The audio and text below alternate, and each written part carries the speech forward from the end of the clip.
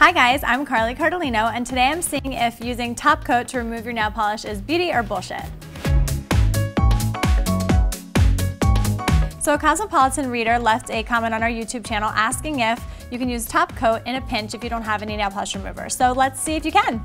So what you're supposed to do is take your favorite top coat and paint it over the polish you want to remove.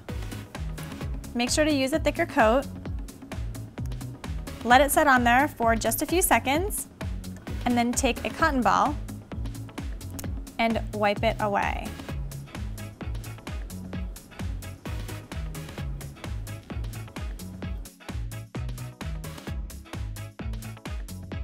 So I'm gonna call this tip beauty because my nail polish is totally off. And I kind of figured it would work because the job of a top coat is to bond to the nail polish. So whether you're wiping it off or keeping it on, it will stick to the lacquer. So I would definitely use this trick in a pinch if I didn't have any nail polish remover and so should you.